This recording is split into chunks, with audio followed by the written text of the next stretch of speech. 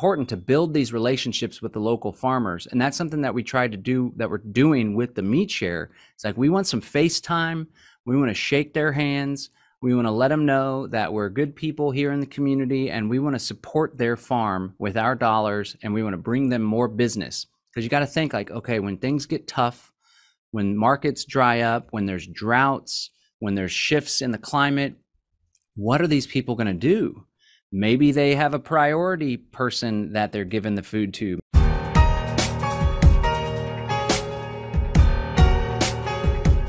And good afternoon, everyone. Appreciate you joining us again. I have John Bush here, Live Free Academy creator. Now, this really resonates with me this workshop that they're going to be doing on the weekend here, homesteading on a budget. And I've had so many of you write in and say, please give us more solutions to the problems because I'm good at talking about the problems, talking about winter gardens sometimes, different plants you can grow, how you can, you know, get your gardens up and running. But why don't we get super into depth on how you can exit and then build out of this current system that we exist in? Because all things are pointing to whether it's happening next week, next month, or even in 2023, things are going south quickly. And the world we knew, and I am going to say past tense, is going to continue to devolve and the liquidation of our planet is underway. So everything's going to change in the way that we perceive money, value, trade, friendships, community, it's all shifting. So to have knowledge like this and a more integrated package on how you can get out and then how do you build these resilient communities. John, I appreciate you joining me today. So floor is yours and i know you got the workshop coming up work uh what's that homesteading on a budget so yeah let's talk about many things because i know everybody's solution hungry right now so choose your land properly and i do want to say one last thing about uh, the cbdc it's a two part running in parallel system. There's going to be a carbon allocation credit, personal carbon allocation, that's going to be associated with your purchase in addition to the monetary value or whatever you have to pay for it. So I, I just got a couple uh, examples here. There was an online t-shirt seller, and we'll be featuring this in my next video, where they put 68 pounds of carbon for nine t-shirts through the manufacturing process, growing the cotton, processing it, taking it to whatever, and then shipping it off to your house. So that whole process incurred 98 pounds of carbon. So moving forward, you're going to get these personal credits. Now, I was told in the beginning they're going to be one ton credits, but I'm sure after it's going to move down into the hundreds of pounds for one. So you have to come up with 68 pounds of carbon credits somewhere to even allow your purchase to move forward. Mm. And if you don't have the 68 pounds or the 500 pounds or a one ton allotment that you need to purchase a thing like a light or a TV or a, a motor, a rototiller or something, you're going to have to go on the open market and then buy that one ton of carbon credit. And these are going to march lockstep. There's going to CBDCs are fraught full of danger here. They're not going to be just, hey, I got to pay for it. The carbon allocations included in that too. So the thing I still don't have an answer for. So if anybody knows, please leave it in the comments below we move through the video here are you going to be able to just purchase carbon allocation credits with your CBDCs, or will that be a forbidden that you're only going to be allotted and that's it? That you can't even buy the CBDC or you can't even buy the carbon allocation credit if you want to. That you're only then you're going to have to wait to the next month and try to accrue six months of those before you can buy a larger ticket item. And me and you, we won't be able to actually buy it on the market. That's only for those who pledge their land to the new carbon uh, capture system or it'll only be for corporations who can offset and trade amongst larger amounts of tons. There's a few unknowns moving with this personal alloc- allocation credit here. And you know, if it does reflect in history, people will start creating their own uh, monetary system like they did in the 1930s of IOUs to continue to do business outside that system. It happened before several times in history. Crash back in 1907. Then we go, you know, we come back what the stock market crash was in the Great Depression. You know, so you see it that individuals and uh, you know cities and communities can start off with their own new system of money outside the regular system because it's truly a trust system and an IOU system of your labor equals this much in a different good or value of a good. Period. So there's many options outside. So I don't think that we're in any way, shape, or form guaranteed 100% that Klaus is going to make us eat insects and we all have to kowtow to it and you got to put the chip. I just I don't think that's going to. You can believe it, and a lot of it's psychological what they're trying to do is they they make yeah. you think they have this ultimate power to control all this and make it happen when they really don't if everybody just stood up and said no then no Yeah. Yeah. And I think you make a great point. It, it, it matters so much where people reside, where they spend their time, where they live, uh, especially if you have a business, for example. But you said it best. The the solution to all this stuff is to create the alternatives.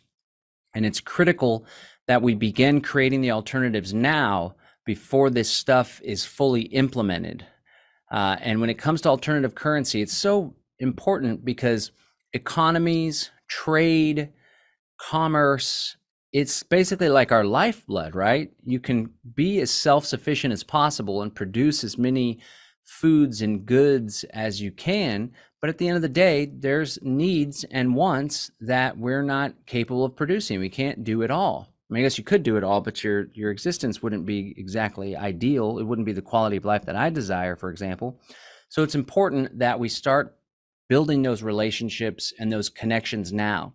In fact, we're hosting a meeting for the Central Texas Freedom Cell Network. We have around 700 plus people here in Central Texas that have raised their hand and expressed being a part of this community. And so we're going to host a meeting on September 10th. And I want to lead the meeting and really just lay out some of these problems that we're facing. Everyone's aware of them, but I want to like really hammer it home that this is happening. It's coming down the pike right now. And we're going to spend a good bulk of the meeting creating working groups. So we want to identify the local food producers in the area. We want to identify food producers that are just one circle or two circles outside of our freedom community. And we want to get that down on paper and we want to start giving business to these people. In fact, just recently, my good friend Nomad Brad, who I shared about earlier, he's going to be one of the teachers in the workshop. He organized a meat share. And so essentially, we're like, hey, there was a guy that did it before in the Freedom Cell Network, but he moved uh, further east in Texas. And so I was like, hey, Brad, you think you could take lead on this? Let's do another meat share. The time is now with all the talk of food shortages. And again, it's that mindset thing. On the one hand, there's people freaking out. They're not able to get groceries. They're in the city. And on the other hand, after our meat share, we lifted up that uh, the freezer, and it was we had an entire freezer completely full of meat because we ended up getting a whole cow butchered. We tried to go for at least a quarter cow, but we sold so many shares in this meat share program uh, that we ended up getting a whole cow butchered. We put together a free report to explain step by step how we did this. So I'll make sure to get you the link you can share with your audience. But it was it was just an example of empowerment, right? A lot of people are afraid, living in fear. They're buying into it, like you said. And in turn, when you think Klaus Schwab is all powerful, then for you, he is all powerful. But if you recognize, no, I'm in control of my life, they're going to try to control me. They're going to try to manipulate me. They're going to try to make me dependent on their systems. But you've declared that you're a powerful human being and you got to take those active steps and take those strategies. So it's important that we build those networks now. Another thing we're going to talk about in this meeting is who is looking for work? Who owns a business? Let's start hiring one another. Let's hire within our community. Let's support one another. We're going to talk about education too, because we got to have a mind for the future generation. Uh, the enemies of freedom most definitely look at their efforts in an intergenerational way, spanning hundreds of years. We got to start thinking how can we equip our children with the knowledge, the empowerment, and the skills necessary to inherit the world that we're creating and create a better world in, in turn. So it's it's really critical that people do the work now. And like I shared before, we created a tool to help people connect. It's called the Freedom Cell Network. It's really cool people, a lot of folks that are more conscious. There's very low drama. And one thing that can tear a group apart real fast is bickering, ego, drama, blah, blah, blah. There's very little of that because we're so focused on getting stuff done. We don't have time for that crap. So I invite people to join the network and I invite people to start building those alternative currencies and counter economies right now because it's not very long before the CBD system rolls out, before this carbon allotment system rolls out. And we are going to want to continue to do business with one another and operate outside their system and not do it like we're hiding out in the woods all by ourselves, but still maintain a good quality of life and have those human connections because really that's what life's all about. I'll show you something right here. I get uh, we get our uh, well used to get our milk, butter, cheese, yogurt, that sort of thing from the Amish because there's a few Amish, there's three Amish farms that are kind of equally spaced out here, but this is the furthest one from where we're at. I sent this notice out to everybody who does buying. Now, you know, you might have your food procured, and we do also. We got lambs live weight, and they butchered it for, or they uh, slaughtered it for us, and we butchered it ourselves. Uh, we had a 490 pound calf. We did the same thing. Uh, we've gone through two lambs already at 105, 115 pounds or so. Yeah. You know, it's a skill set to have. And once you get your freezer full and you're like, whoa, that's a lot of meat there. And it is helpful to have somebody share and then, you know, doing the work in. And we try to save everything. And we boil the bones down for the dogs and any of the offcuts and anything that we, we think that can be used, especially when we render the fat down. Um, you know, the dogs love all that stuff too. So we really try to waste nothing yeah. out of that entire animal even the Amish, they keep the hooves and stuff to feed their dogs, and they have those big like mastiffs, like super. Uh, don't cross those things tonight because they need to protect their flocks against the uh, coyotes out here. So their dogs are pretty massive. So let me. Two things have happened with the Amish here in this last year. Um, you uh, USDA came in and told the Amish you cannot sell your eggs anymore because you didn't wash them and they didn't go through an FDA facility or USDA facility they got some of the best produce on the planet and they were told governmentally that you're not allowed to openly sell them so they're under the counter. So you walk in and you go hey you got eggs? And they're like yeah and they're under the counter. Nice. But here's here's the uh the post from the amish farm down here. It says they're they're in a in a different roundabout way of cutting off the source. Because when we went there we used to be able to get our you know two gallons of whole milk as much butter as we wanted as much homemade cheese as we wanted. It was never ending. You as long as you had money you could go get whatever you want from there recently these last two or three times we've been back it's been like you're getting half a gallon of milk nothing else at all left no yogurt nothing. So they sent this notice out to everybody. Uh, as many of you are aware we are in the process of transitioning our dairy herd to seasonal milking. This means that all the cows will calve in approximately the same time in spring. So here's our current schedule. We will discontinue milking the cows and taper milking until New Year's Day. Then we're going to quit milking. We're going to let the production dry up. That's from them. So, what do they know about the the current time coming in, where they're telling you all these people that belong to the dairy herd share, uh, the milk herd or the herd owners family, as what regular milk customers, that's drying up. So, alternative sources would need to be found for the like you know ourselves. We like that whole milk that comes because we know exactly what pastures they're on out there. They're not chemical, you know, trying to remove all the other weeds to bring up a certain species of hay or or whatever it is out there. Everything is just wild herd, and they they rotate them around.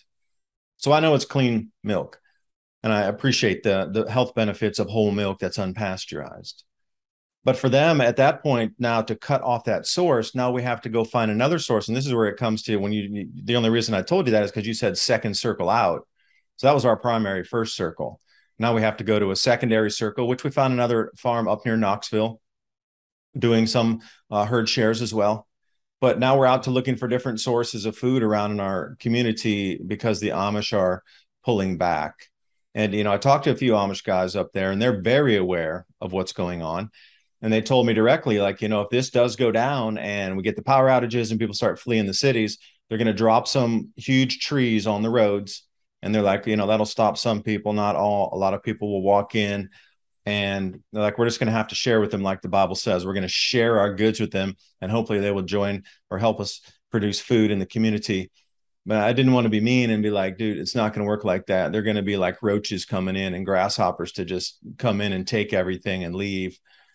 And they're just you know one of the farms just about a mile from here so we will help protect them so even if you think you got your local level set, you better have a backup source or even a backup to the backup because when this starts going down, those people are going to stop selling. Hearing stories like that and a lot of the research you do and a lot of the stuff coming out just in, even in mainstream publications, it just makes it so real. So for folks that are just sitting on their hands like I don't know what's going to have to happen to light a fire under your behind if you're not acting now, and you know i think a lot of people get overwhelmed right? Um, they may be living in, a, in an apartment in a single family home just watching videos and, and learning and learning and they feel like i just want people to know you don't have to skip to the 10 acre 23 acre property. You can start taking small steps right now. What can i do today right? So for some people and this is some stuff we'll teach in the workshop you can go to start a community you could join a community supported agriculture program There's websites that can show you all the listings and stuff in your area. So that's where you pay, you know, 50, 100, 200 dollars a month and there's a pickup location for local vegetables. It's really important to build these relationships with the local farmers and that's something that we tried to do that we're doing with the meat share. It's like we want some face time, we want to shake their hands, we want to let them know that we're good people here in the community and we want to support their farm with our dollars and we want to bring them more business because you got to think like okay when things get tough when markets dry up when there's droughts when there's shifts in the climate what are these people going to do? Maybe they have a priority person that they're giving the food to. Maybe they want to give it to the store this this that and the other. So it's important that we we provide value to those people. One of my early mentors taught me uh, that we sh- we we provide shared value based on shared values so if you can find, you know, a farmer that is into freedom and stuff, and a lot of farmers are, they tend to be more independent. That's ideal as well. You know, and that's why it's important too that we learn these trades and skills within our own community. So it's really cool to hear you guys are slaughtering sheep or, or slaughtering lamb. Those lamb ribs taste mighty fine, right? Um, there's all these skills that just got overlooked. Everything now, especially with the youth and mainstream America, is getting shifted to this STEM stuff, and it's science and technology and coding and there's a place for that, right? We're connecting right now through the use of coding and the internet and stuff, but it's really important that we bring back those old world skills, uh, traditional skills, stuff that's just pretty freaking basic, but everybody takes it for granted because they got the grocery store. Well, as as your listeners know, you're not always going to have the grocery store to go to. So where can you start? Start. One thing I learned from Jack Spirko, the Survival Podcast, I was talking about permaculture principles so when it comes to where you're going to grow your food on your property, you walk out the back porch and the first square foot right there is where you should start your projects, right? So make it simple, make it accessible, container gardens, raised bed gardens, square foot gardening is a nice simple way. One thing I was thinking about with this whole uh, grand solar minimum and these climate change shifts, that's why permaculture is so important to to have resilient systems that are able to grow and thrive on their own, it's more likely that these types of food production systems that are more in alignment with nature and the place that you live on, I think they'll be able to weather the storm better than simple row crops or especially than monocropping. So it's important that we have that um, that multi-species involvement in the fruit trees and the food forest and stuff like that. We're actually going to be joined by Paul Wheaton. He's one of the world's leading permaculture experts. He's going to be teaching in the workshop, as well as Marjory Wildcraft. She's awesome. She's she's been on point with her analysis for years now, but she really is good at teaching people how to grow as much food as possible in such a little space with little time and little energy input. So these are the kind of things that people need to be thinking about. And you got to ask yourself if you don't have any type of food production going on, if you don't have a relationship with the farmers, what's it going to take to get you to take action on that front? Because the time it's already past time. I was going to say the time is now. It's the, the time was a long time ago my friends and it's critical that we get going now. The best time to plant a fruit orchard 10 years ago. There you go. You know Next I mean? best time. Uh, there's still community gardens though. That, that's another thing. A community garden, uh, you know, they're already all they're asking for is come by help, and you still get some of the yield off that. And any yield is a positive yield.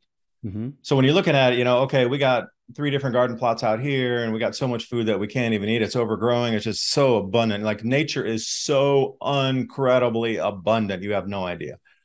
I mean, it, if you're growing too much, it's just too much to eat because it's so abundant, and then it's time to share but getting the yield you're not you don't have to go for that ultimate yield. If you can just get one plan and understanding the basics of taking that almost unusable compacted clay soil and fluff that up and add some you know broken down wood in there and whatever else you can get in is you know something to get so roots can actually get down in there.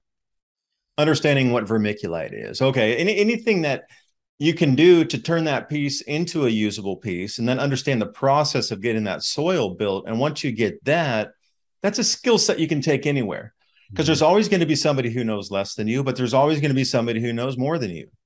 So that fine balance of imagine two permaculture experts coming together and e- even though one might be a super master and the other one is you know versed in it for 20 years and the other person's been doing it for 50 years those two together oh man that's like a hurricane of knowledge going to spread out and get you some yields out there So it's never about the competition. It's about sharing that skill set. So either, it, you know, the more knowledge that's in that, the better the outcome will be.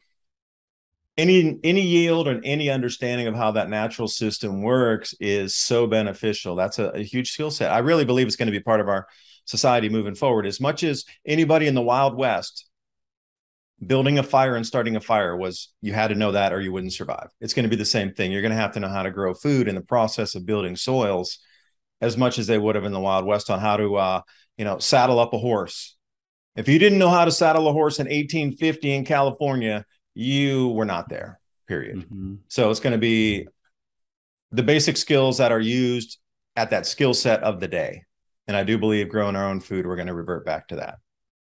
Yeah, the skills are changing. And there's always like history has this pendulum effect where it goes to one extreme and then it goes to the other extreme. But we're seeing it swing to the tech right now. Technology, Zoom, and of course the lockdowns and the COVID policies exacerbated that with people working and going and kids going to school on Zoom, right? So it swung to technology. And now we're seeing, seeing it swing back, not for everybody, but for the people that matter, people are seeing what's going on. We're swinging it back. So those skills are critically important. And to be honest, it's not that easy to take something from seed to fruit, especially if you haven't ever done it before. Uh, like especially in a place like Texas, man, to grow stuff in the summertime is really mm. hard. Ideally, you get something going, it's so healthy, and it just barely makes it through the summer, and then it starts springing back, right? but it's a challenge and there's a lot of people out there that think they're going to be fine because they have the survival seed bank in the closet and when crap hits the fan they're going to take those seeds and plant them and voila they'll be able to feed their family no it, it takes a lot of work a lot of knowledge you got to battle the climate you got to battle the damn bugs that are they're competing for your resources you know um, so like you said the important thing is just to get started i encourage people to start small and to start simple for example, growing tomatoes. They grow really well in many different clients in many different areas. And even if you're in an apartment, get yourself a nice cl- big clay pot, plant the tomato seed, nourish it, water it, pay attention to it, sing it little songs or whatever. And as it starts to spring up, you put a little tomato cage. When start to see the fruit, and then you could toss some cherry tomatoes in your salad, it's really fulfilling. It starts to kind of build some confidence in yourself. So you need to start getting that momentum. So I'd encourage people to start small Although I don't know, maybe we're past the time for starting small. Maybe you got to go big. But another big takeaway too is it takes a lot. It takes a really big garden eh, to feed your family. Like you can't feed yourself 100% on your own garden unless you really got it going on and you have a bunch of bodies putting in a lot of time and energy to maintain, grow, and protect that garden. It takes a lot of work. And I think people might be missing that. So for the folks that have never grown their own food, they're in for a rude awakening if they think they're going to be able to just come and figure it out in the moment, especially if they're hungry and especially if their children are hungry. That's going to be a very anxiety inducing experience and it's going to be a challenge to learn. So, while the times are relatively normal, while you still can drive to work, get your paycheck, while you still have electricity, uh, I think it's really important to start that stuff now And like you said with the permaculture experts and stuff, people that know how to grow food, they love talking about it and they love teaching people about it.